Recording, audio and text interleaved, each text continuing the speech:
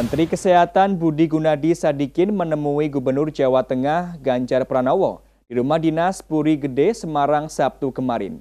Ia meminta Ganjar melakukan pendampingan ekstra untuk Bupati Kudus dalam menghadapi lonjakan kasus COVID-19.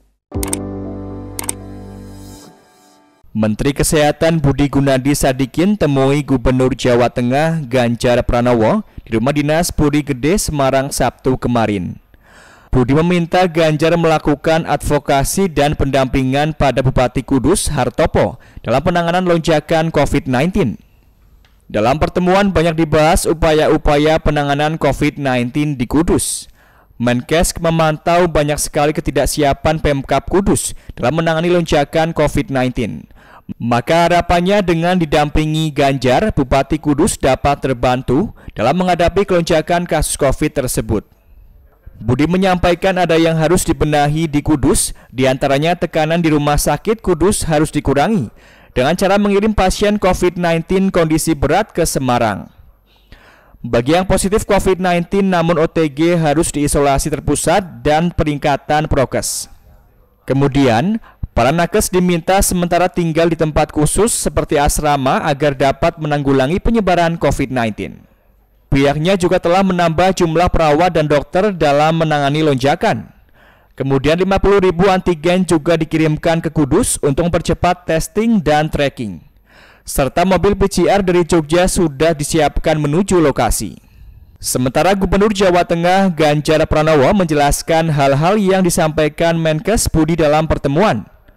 Pertama, terkait penanganan medis saat ini sudah tercover semuanya. Kedua, Ganjar meminta Bupati Kudus tidak ragu mengambil keputusan dalam menghadapi situasi lonjakan. Ganjar juga meminta Bupati Kudus membuat tempat isolasi terpusat untuk isolasi masyarakat yang OTG. Jika tidak ada tempat dapat dikirim ke Semarang, pihaknya siap membantu hanya tinggal menunggu keputusan Bupati Kudus sendiri. Yang kedua, secara politis, nah ini tadi tugas saya melakukan pembinaan maka saya minta Pak Bupati nggak perlu ragu begitu.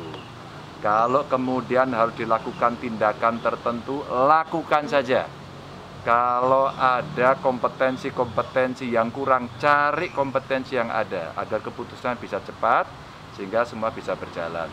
Namun eh, perlu kiranya kita saling mendukung, maka ada TNI, ada Polri ya yang sudah siaga untuk bisa kita dorong. Saya hanya minta pada Pak Bupati perintahkan semuanya yang uh, eh, OTG ya, yang positif masukkan semuanya ke isolasi terpusat. Siapkan tempatnya. Kalau nggak ada, saya siapkan yang ada di Semarang. Kita punya beberapa tempat ya.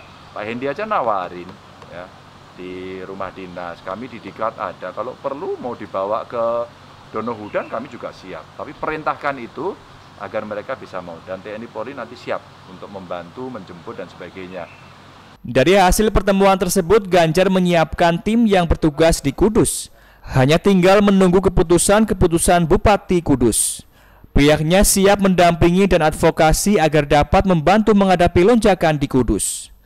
Dari Semarang, tim liputan Satelit TV mewartakan.